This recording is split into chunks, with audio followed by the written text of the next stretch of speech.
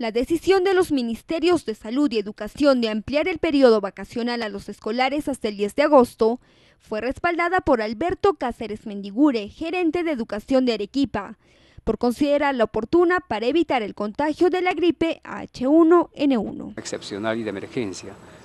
Eh, y también hay otras medidas, otras acciones sugeridas por salud, en el sentido de trabajar ya directamente con padre de familia, Mm, ver el aspecto presupuestal para atender eh, la necesidad de mayor casos, como ustedes saben bien, incrementándose.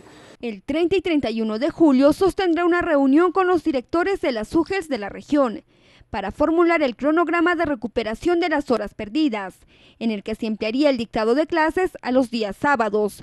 Se espera que el año escolar culmine el 31 de diciembre. Una reprogramación. Esa reprogramación la debemos plantear y planificar en conjunto con los directores de UGEL. Se está trabajando en ese sentido. Producto de esta reprogramación viene el calendario cívico escolar y entre otras actividades. Esto lo concretaremos eh, próximamente, la próxima eh, semana, una reunión con los directores de UGEL. La idea es concluir el 31 de diciembre.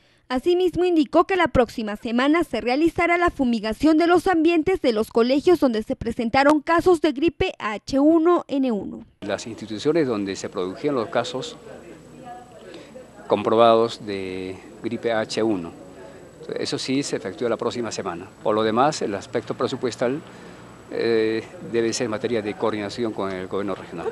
Señaló también que los directores de los centros educativos son los responsables de desinfectar los baños para evitar el contagio.